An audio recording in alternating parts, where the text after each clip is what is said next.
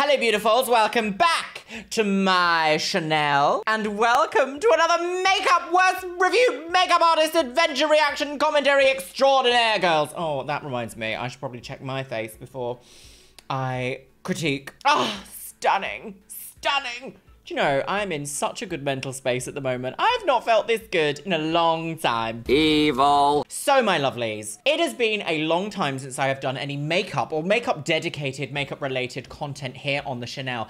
And if you don't know me, my name is Luxeria. I am a former professional makeup artist and biochemist with a flair for creating skincare and cosmetics. Mmm, making meth? I actually currently formulate all of my own skincare. There is only two things in my skincare routine that is not created by my own very hands, and that is my cleanser and my eye makeup remover both of which I am currently reverse engineering. She's got a degree. I have 16 years of makeup experience, both on counter, private, freelance, events, and weddings. Everybody loves a wedding, don't they? No. But today, my loves, we are going to be watching someone visit a worst rated makeup artist because that was a trend. That was a trend that happened. People did that for some reason. Uh, it could never be me. So, my lovelies, the last video that we actually delved into any sort of makeup content was actually reacting to the best, worst rated makeup artist that Judy D went to. And this was eight months ago. And I, in fact, still have my old face. And I can't believe this. This has become an uncanny tradition here on the Chanel. I was wearing black lipstick then in that video, and I'm wearing it again now. There's something so empowering about black lipstick. Ah, so one of the top comments on that video is by Hegaduz Zolfi. And they say, this artist is great for people who can't afford high-end makeup artists, but would like a look made by someone who knows what they do. And I think it's beautiful and the color match was perfect. So this is actually something very, very, very important important to remember when you are going to your makeup artist or you're picking a makeup artist or you're picking any sort of esthetician is that cost does not necessarily equate to experience. You may not get what you want from someone who is charging thousands and thousands versus someone who does their job well, that you like their style of, that perhaps doesn't charge quite as much. Though I must actually say that with a caveat because generally in the world of aesthetics, you get what you pay for. That goes for anything to do with makeup artistry, hairdressing, tattoos, surgery. So, my lovelies, today we are going to be watching a YouTuber called Jada Hamilton, who made this video that we're going to watch in 2020, and it is titled, I went to the worst reviewed makeup artist in New York, girls. Now, I have never been to New York. I don't have any friends in New York. I don't think I do. Oh, yes, I do! I lied. If you're watching Jazar, hello, my love. Aside from that, the only real instance of New York City that I know of is literally on Drag Race when everyone is like, I'm from New York, New York City, girls, New York City's premier get gout. I could not believe it. I love doing these videos because it gives me a chance to really flex my makeup muscles because I have a lot of expertise to share and I don't really get an avenue in my life dedicated to sharing that because makeup tutorials here on YouTube do not do well. Now, I must admit, I have a very specific style of makeup that I enjoy and that I can do very, very, very well, both on myself and other people. And it's the type of makeup that I usually lean towards. So I do my makeup like a showgirl would do their makeup. I need it to be long lasting. I need it to be water and sweat resistant. I need it to not go shiny throughout the day. I need it to be matte. I need it to be blurring. I need it to look flawless on camera, in pictures, and in real life. Are you ready, my loves? Let's watch. Today, I'm here with Shelby. We're Shelby girls! About to go to the worst reviewed makeup artist. I could never. My city. I seen a lot of bad like Yelp reviews about this lady, and I'll insert it here or something. And oh my god! Oh my god! This is actually. Have we actually ever seen Yelp reviews before? Oh my god! This dumb effing bitch messed up my makeup for prom. It can put completely different than the pictures I showed you. I surely didn't even. And that's the Darjeeling. I don't recommend coming here. I don't understand how she got her license. Those are some scathing reviews. One of the things that you don't really hear a lot of people talk about when you go freelance as a makeup artist is like the kind of mini fear you have about effing something up. Sometimes you do just have a bad day, but it's your customer service and your ability to command your business, your business ethics, and your professionalism that should be able to minimize negative reviews, should we say. But you are always going to get at least one in your career. Electric chair. Not me though, I never got any. so I'm just gonna I'm gonna give her the benefit of, of the doubt and see kind of how she is. So and purchase and stuff. Yeah, based on these reviews, it's probably gonna be pretty Oh, I love the old YouTube music. We're about to go, so Okay, so Jada has gorgeous skin tone. She's got a really clear, even base. That would be gorgeous to work on. like how she makes her money. Lovely and stuff, or, eyebrows. Like a side hustle, so Gorgeous eye for shape. that reason, just gonna keep everything private. Her studio type of thing is in her house. Okay. I've never seen that before, so I don't really.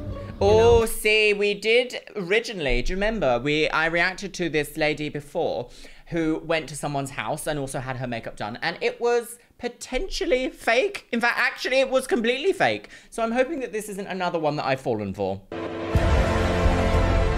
prophecy is true. Although even if it is fake, I still feel like my knowledge, being able to share my knowledge about certain areas of makeup and cosmetics, is still valuable. You know? Ring the doorbell.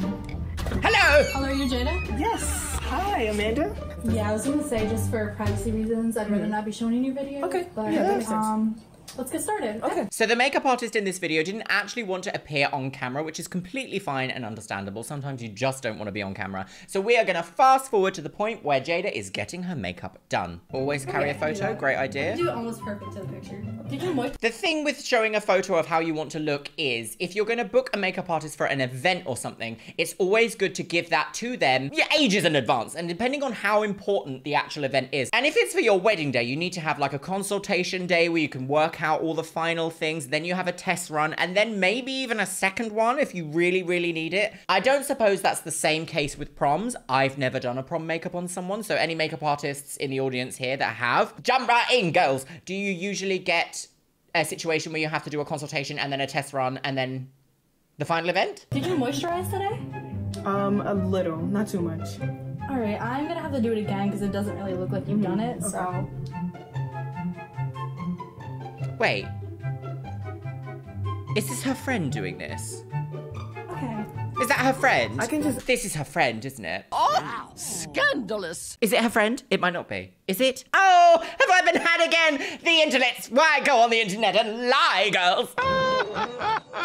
when prepping the skin for cosmetics, one should always provide a small amount of skincare. That can be an under eye cream, that could be those little under eye masks to make the eyes feel like bright and rejuvenated. Obviously, it depends on the kind of service that you want to give. If you're giving like a luxury, amazing service, then the products that you use and the steps you go through should reflect that and reflect that in your cost and your prices and your like return on investment, so to speak. I can rub it in if you want me to. Okay. Yeah. Okay, what's this? This is the setting Dirty brush? Stuff. Okay. Wait, what was that? Okay, what's this? This is the setting stuff. Okay. What? Okay, what's this? This is the setting stuff. Okay. This is a setting cipher? I don't know what that was. A bucket of piss, sweetie. Okay, so she hasn't gone in with any primer. When someone comes into my chair and they have gorgeous skin, I don't necessarily always want to reach for primer. And this kind of also depends on what kind of a look you're going for. If you're going for long wear, I have not found a primer that works so beautifully cohesively all in one with a foundation that is my favorite to use. And my favorite to use is, and always will be, Estee Lauder Double Wear Girls. It really is the dog's dangly bits when it comes to long wearing, gorgeous, photo ready makeup. But I will actually say their shade range does leave a little bit to be desired. You can always deepen or lighten with certain different types of powders or concealers. But if you want to get a skin tone inclusive kit, what you can do is support black owned beauty brands like Beauty Bakery, Fenty, Iman Cosmetics, Danessa Myricks, and of course Pat McGrath Labs if you want to go for that luxury. Here we go. Oh, brush just fully on the skin. Oh, This will give you like a natural tan. So Okay. Yeah, I don't know anything about makeup, so Um, do you want it darker or lighter?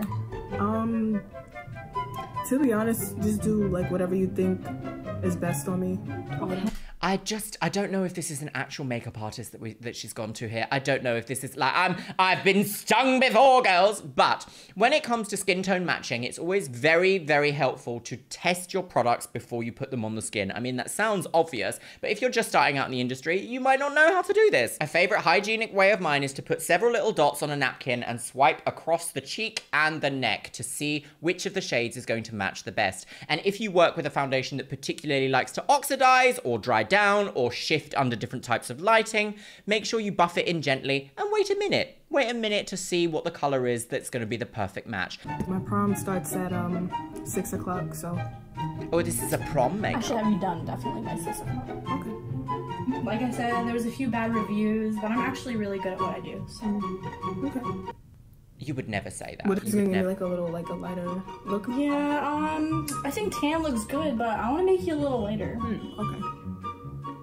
Okay, this isn't real. This this is not real, sis. This is not a real video. Simply it cannot be real because look at the state of that brush. That brush has been used goodness knows how many times on goodness knows what. Ew, Michelle. I think I could make an entire video about the fakery of worst reviewed makeup artist girls. Again, if you found you've put the incorrect tone on somebody's skin when it comes to foundation or concealer, you can remove it. It's not the end of the world to say, this product that I have placed on your skin is not behaving exactly how I wanted it to, so we're going to rechange it. Obviously, do this more towards the beginning, the absolute beginning of the service, because if you've gone past the point of no return and you're near the end of your service, and then you think, oh, maybe I could have done that a bit different. You've just made it very difficult for yourself. But then again, that is exactly why we have consultations and makeup test days. No, no, no, no. Application of foundation is probably the most crucial point of making a look go from that consumer level cosmetics into, you know, high glam, gorgeous, I couldn't have done this myself. And if that means popping an extra couple of sponges in your kit, you should also include that in your price. But I have worked in counter situations where time is very much of the essence. So I used to work for a brand in which we would have timed makeup styles or makeup looks depending on how much the client was spending with us. Because of the time pressures, sometimes that lent very much into the case of get it as fast on the skin as possible and then sort out texture afterwards. When it comes to foundation, I always truly believe that the minimal amount you need to put on for the maximum outcome is the perfect place to go, especially when you're doing long wear makeup because it has a tendency to look very heavy. If you're going to apply foundation with a brush, make sure it's really buffed into the skin or Failing that, just quickly go over with a damp sponge afterwards. But it will sort out any blending issues that you may have with the foundation. I'm a professional woman. Now I'm gonna do your eyeshadow. Uh, you were looking so- for a light blue look. Yeah. I mean, it goes without saying, but definitely don't just put foundation on your client's forehead and nowhere else. Teal eyeshadow. what palette is that? Um, I actually bought the James Charles palette. Um, there's a wide variety of colors. I happen to like it. Do you have one? No, I don't. I don't have any makeup. Like, I don't know anything about makeup. Wow. It's this one. Okay. Mm. So this was uploaded in 2020, and I feel like that was kind of around just kind of the end of the hype of like real big beauty guru palettes. For me, it's not a red flag for someone who is a working makeup artist to have a beauty guru palette in their kit, but there is definitely leagues to makeup depending on what you are selling as a service. If you're selling that Instagram glam for an affordable price that you could do in a fast amount of time, perhaps your clients in that scenario are going to recognize a palette and associate it with a certain person or a certain type of artistry or a certain type of look. Using anything by Makeup by Mario, for example, will elicit your client to think of Kim Kardashian and that kind of high, snatchural glam. I am Gigi de la Roca, businesswoman. Half of the point of building a successful business is also understanding how your brand personally looks to other people. Oh, no, that's not real. Yes, it is. No, it's not. Yes, it is. This is gonna get blended, right? Yeah, of course. Okay. No eye primer. No concealer on the eyelids if you're that way inclined. Never, never, don't, this, oh! This kind of style of makeup, I know it as garage doors, which is where you have one shade of color straight down the eyelids. That's kind of it. A key point that I always see when people are doing smoky eyes, when it's from a consumer point of view, and maybe they don't have the experience or the expertise to understand how to exactly perform a brilliant smoky eye, is that you don't start with your eyeshadow in the placement of where you want it blended. It needs to be able to move into that place to create that transition or to create that beautiful gradient. If you put down a massive amount of eyeshadow in one spot and then you go to blend it, you'll end up with giant panda eyes. And that might be the vibe, but more often than not, it's not the vibe. It's not the vibe. Stop! Don't usually go in with a mm, I'm blending kind of brush a little bit first out here either. because I'm doing your wings, mm. so I want it to blend right. Okay. Yeah, that makes sense. Wings. Now I'm going to apply this light blue. It's kind of sparkly, so it'll give you that shimmer. Um, I don't know what your theme of prom is, but Yeah, it's um like under the stars. But she would have had. this really good. on you. Wait, but she showed you the photo, so. I mean, it's not real, is it? Let's be honest, it's not real! That is quite a nice colour, a shimmery blue. I just don't wear colourful eyeshadow. I find it very difficult to fit in with my. My new face! Alright, now I'm gonna apply a dark blue to the corner. right? With My the same brush. it, right? All of this with the same brush, so not a makeup artist. Are you gonna do lashes as well? Yes. Some lashes would be good. I've never even worn lashes before. It's crazy. Yeah, I like how the dark blue blends in. It looks really nice on you. Yeah, it does. I mean. Yeah, I'm just gonna wipe it after. This is this has to be like fitting for an 80s cosplay party, not fitting for a makeup artist studio. Is that tea? You often see weird and unintentional but intentional looking makeup in like high fashion campaigns, so you know, it has no rules, but it definitely has guidelines, and those guidelines shouldn't really be broken, no. I say it. What I say it. Uh, I'd like if you could send people to me too. Yeah, of course, of course. I just don't believe that's a real conversation. With the same shadow brush? So I know at the moment that Morphe is getting like a bad rap for everything, although apparently they're going bankrupt, which is kind of a shame because they have a couple of staple products of mine that I really like. Some of their blending brushes are gorgeous and super affordable, super, super affordable. Sometimes when you have luxury priced brushes as a makeup artist who does a lot of freelance work, the more that you end up cleaning and reusing your brushes and cleaning and cleaning and cleaning and reusing and cleaning and reusing can really affect the way that they are how can I say this? They're not new anymore. Those brushes don't look new anymore. So sometimes it actually behooves me, in my opinion, this is just my opinion. Some other makeup artists out there may disagree with this, but I personally like the idea of not feeling so absolutely hatefully sad when I have to throw out a brush, especially when it comes to something like a blending brush, which is constantly doing this motion. Flat packer brushes, a bit of a different story, but constantly doing this motion will absolutely have a degradation effect on the bristles of that brush. Unfortunately, you can't escape that. That is how erosion happens. I've cracked the code, girl! She's got a degree. Science! Um, would you be able to close your eyes for me because I really can't blend it well with your eyes. Yeah. I'm sorry. No, that's fine. Oh, more blue, more blue. Blauer Augen! Hmm. Right. Grooming of the What brand is this? Um, this is Anastasia. Hmm. Okay. Anastasia. that That's brush is filth. I've said it once and I've said it before in all of these videos. I know that this one may not be genuine, but I am very much of the opinion, then you'll know this if you watch any of my other makeup-based videos. Sanitization is key. Even if you are a fresh starting out makeup artist or you are a makeup artist with 48,000 years experience in the industry. I was the world's first makeup artist. Sanitization and sanitary practices are paramount to providing a good service and also keeping those reviews high. Oh yeah, look at those gorgeous feathery hair strokes. Where'd you go to beauty school? Um, I can't really say on camera. What?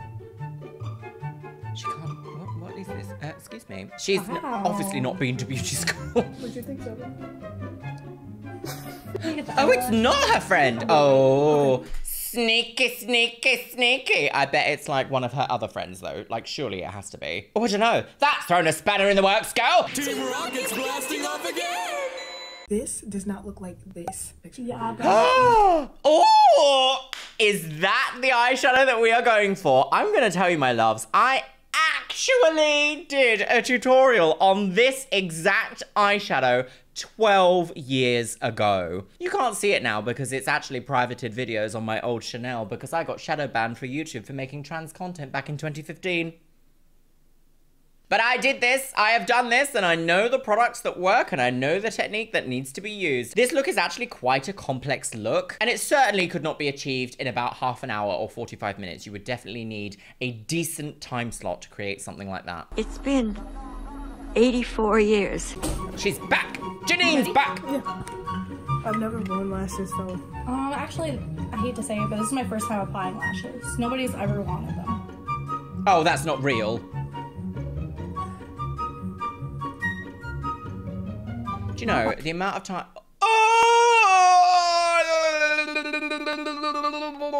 Do you know the amount of times that I see people using tools to apply eyelashes?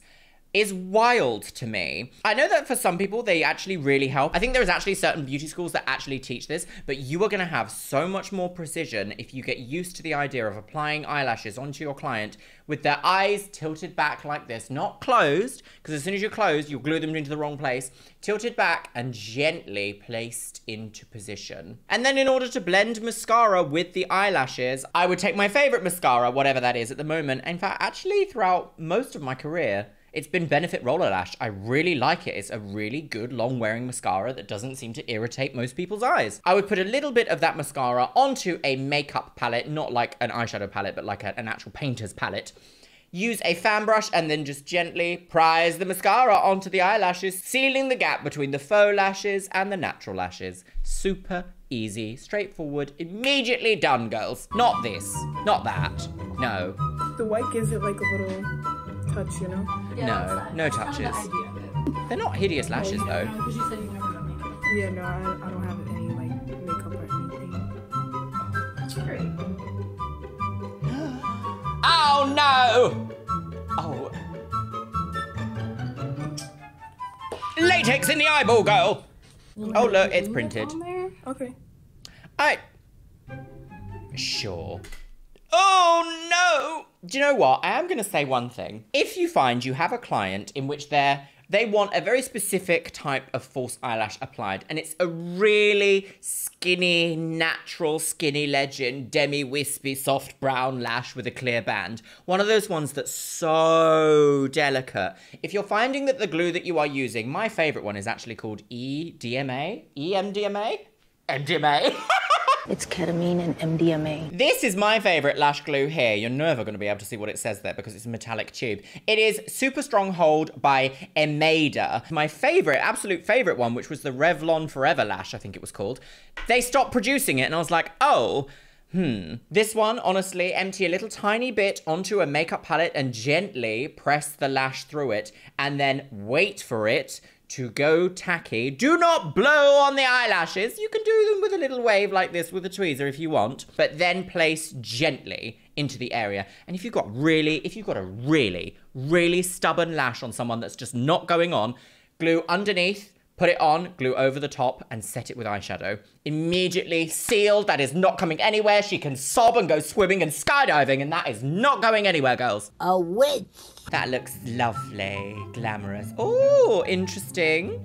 An interesting, oh, a beautiful wing for a beautiful woman. Yeah, it, she's there. Um, This do you think is you fake. Could, like clean it up a little bit. I don't want like too dramatic. Um, do you not trust me? I just just don't feel comfortable with it. Being, no, like, that's too surely dramatic. hostility. Like, obviously she Um, knows yes. that she's being filmed. Just let me do this side real quick. Okay. But you know, actually, this eyeliner is not unsalvageable. When you're in a counter environment and you're a makeup artist, you're primarily there to sell. And the idea of selling is to get, you know, someone in, someone in your chair, you teach them what they need to know, you show the products that you've used, and you get them out. And that should be a well rounded, professional, quick service. And in order to get eyeliner done beautifully, fast, before anything else, gone, gorgeous, gout, it would behoove you Oh my god. Stop saying behoove. it would behoove you to practice with a product that you like to use to tidy up. Some people, if they're doing their eyeliner before doing any other makeup on their eyes, unrelatable, I like a showgirl look, will tidy up with a makeup wipe or with some tissue and some cleanser or something like that, maybe even a bit of toner. For me, my favorite is to get a flat top brush and to use a little tiny bit of concealer, do a little swipe underneath the eye and a little bit of a blend with a blending brush. And then you've sold three products, the eyeliner, the concealer, and the blending brush. Done. Oh, direct needle in the eyeball, girl. It's fine. It's fine. Okay. Yeah, this can't be real. Not li- not liquid liner under the eyeball, girls. Are you still gonna clean this one up? Oh, this is looking very Central St. Martin's. You got a little up here as well. Um, yeah, I'll clean that up. Okay. Look up. No. What, what is Little that? design. Oh, that's nice.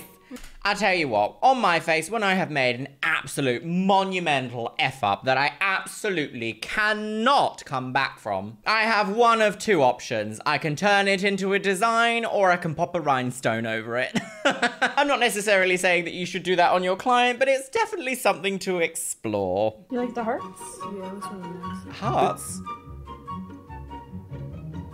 Water on the brain. Glitter! I hate glitter. Highlighter? Stank fingers. Oh, that's not where you would put highlighter, but kind of contour sure. your nose? Mm-hmm. You know, I actually, I actually, in my life, my makeup artist career, I've had to do numerous different types of nose contouring, and I just don't like shimmery highlight on the nose. I just don't like it. A matte highlight works perfectly well because after an hour, the nose will naturally start to get a little tiny bit oily anyway and create that kind of snatched light reflecting effect. Diamonds! Putting shimmer directly on the nose, really? I just. I don't think. No. It's not for me. But if a client asks for it, I can only really push a certain amount and say, well, I think that this would be better, but if they really want it, they can have it. No blush, no, just highlighter. That's also nowhere near highlighter placement. Last but not least, I'm gonna do your lips. Lips go! What color? Black! I have like a tan color, so. Tan. Okay. Oh, didn't sharpen, didn't. Always sharpen your lip pencils and always make sure they're sanitary. Dip them in sanitary solution, whether that's makeup sanitizer or isopropyl alcohol for a few seconds, then sharpen, dip again, wipe with a fresh tissue, and that's it, sanitized. I'm the baby. I'm the drunk baby. Alright, um, I have a question. Yeah. Overall, how much is this gonna be? um, because I use James Charles, which is a very like rare palette. Um, I had the limited edition one. It's eighty dollars, and with the lashes because they're made with ink sheepskin, so um, we're looking at one eighty altogether. 180. I don't think that's this cannot be real. This cannot be realistic. This cannot be realistic. $180 for this. No! She's dead. Prices. How do you charge to be a professional makeup artist? Wouldn't you like to know? That's actually something I'm not going to give away here on the Chanel. but if you are looking for a great way at trying to understand how much you should be charging, actually look at the fees of people that charge in your local area, and that will give you a kind of base starting idea at the level of expertise on how long they've been in the industry and also what is kind of like the going rate that's competitive in your area. Once you have an established clientele, that's when you can start to readjust your prices in line with inflation or in line with where you want your career to be.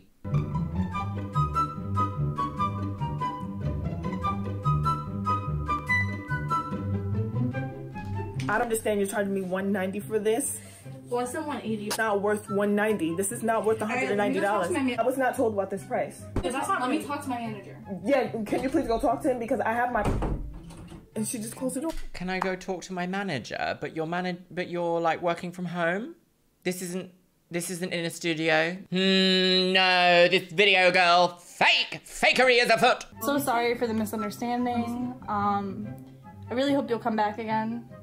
You know, $90, 190 I no. So now Jada has finished having her makeup done after the makeup artist has finished the look. Um, I'm still of the opinion that this is not a genuine video. However, let's actually look at what the final outcome is. So Jada here has multiple different tones of blue as an eyeshadow. She also has a, a wing liner, lashes, glitter, a design of hearts, incorrect shade of foundation, and also red lipstick. Now, just as a professional opinion in terms of makeup and color theory, unless someone is really, really pushing you to have blue eyeshadow and red lipstick, which I don't think most makeup consumers ever want, just don't, just don't do this color combination. Just don't do this color combination because it obviously, it's very clown colors. Let's be honest. Now, I am personally a fan of a deranged clown, but I don't think most people for their prom or for their wedding or for their special event want to embody a deranged clown. What's up, everybody? Welcome back to my channel. Something in the universe is telling me, girls. Now, this video was posted in 2020. That is three years ago as of this date. Oh, three years ago, what? It has 10 million views, and the link will be in the description box of this video if you want to go and watch the whole thing. But I've got some thoughts. So, my lovelies, I've got a couple of thoughts about this makeup look and the way that the makeup artist conducted themselves. Obviously, I think it goes without saying, if you are in a freelance position, in fact, if you're in any employed position or self employed position when it comes to a single service that you are providing, professionalism is the word of the day, girls. Professionalism will get you very, very far in this industry. Sanitization is next, and talent. Talent is really good, but also keeping very up to date with trends, with products, and honing your skills onto several beautiful different looks will really get you a long way in this industry. I do genuinely feel like this video is in fact fake, although I am looking through the comments and there isn't there isn't like any mention of the video being like in question of genuineness. Which kind of does make me go like, mm, maybe she's blocked the word fake. If this is a legitimate video, that is one of the worst shocking makeup jobs I have ever seen. So my lovelies, let me know what you think about what we've seen in today's video. It has been quite a journey from start to finish. Even though I feel like this video was fake, I hope you can still take away some level of information about the cosmetics industry and how to process your cosmetics client. And with that, my lovelies, it is time for the Patreons. You can see yourself scrolling past on the screen right here, my loves. Yes, you can. Today's Twitch shout out goes to Blood Meal 7. Thank you so much for following me over on Twitch, you stunning woman on the go. And if you want to be in with a chance of being featured in my next video's Twitch shout out, make sure you follow me over on Twitch. It is Luxeria Plays, and I stream every Monday and Thursday, my loves, and I am having a big announcement soon over there, so make sure you come and follow. And once again, I want to say a massive thank you to my top tier Patreons. Aloria, Dr. Dreamerella, Laura Ali, Luke Peterson, Orkos Emoji, Andy Henry, Autumn Holly, Beebles32, Caitlin Coating, Camille Sarah, Casey Donahue, Shell Herman, Christina Crownover, Christina Kyle, Connor, ContraPoints, Crafty Leaks, Danielle, Danny Smith, Deborah Gwynn, Donuts for Life, Dr. A, Jevod, Elizabeth Stone, Eric Castillo, Jarrell Pavlovsky, Jen Martin, Jenabeth Herman, Jenny Hendricks, Caitlin Wright, Catherine Ritter, Lane Wade, Laura Jane, Les Banana, Lisa Pennington, Mary Siren, Mazel Morel, Megan Holly, Min Min DM, Moisten98, Mariah Sherman, Moldy Apple, Nadia Hamdi, Nixie Tricks, Paolo Rivera, Pink Caramel, Princess Lilium, Rachel VEC Biscuit, Romano, Ryan Vita, Sexy Texy RN, Slampire Queen, Sushwa, Steffutech, Succubus Lena, Summer Neff, Travelful Tromo, Victoria Corella, Zayanaza, and Zoe Zevier. And you know what, my loves? I'm gonna leave it on the notes of you want to come online and make fake videos, you do use this. it was quite entertaining, I guess.